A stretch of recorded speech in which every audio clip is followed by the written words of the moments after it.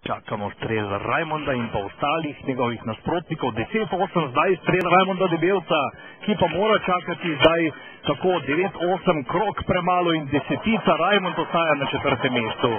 10-8 torej skoraj čisto desetico je zadev Rajmond na zadnjem strel. 4-4 pa zadetek zdaj mečo Emonca in poglejte tule je takole Katerina Emons, njegova žena, pogledala, kaj se je zdaj zgodilo. 4-4, kakšno neumnost, mi je postal olimpijski zmagovalec Rajmond Debelec pa ima kolajno. Rajmond Debelec ima kolajno in tokrat, torej sreča vendarle. Spoštovani gledalci, gledalke, pa to je neverjetno.